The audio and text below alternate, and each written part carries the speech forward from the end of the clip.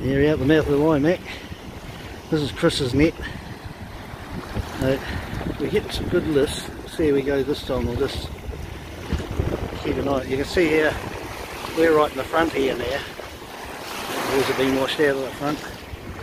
So we're just hoping uh, it's just still sitting there good because that's too deep to walk out there. You can only go to that first junction on the screens. So give my bit of a hand.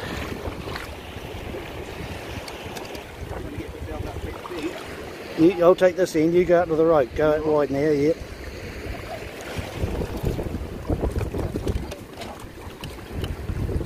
That's good.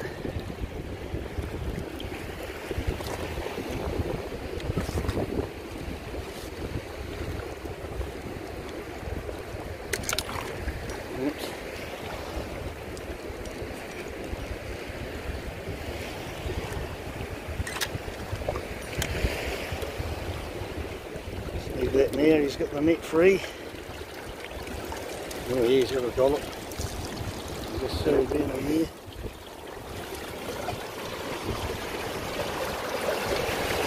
That's it boys. Yep.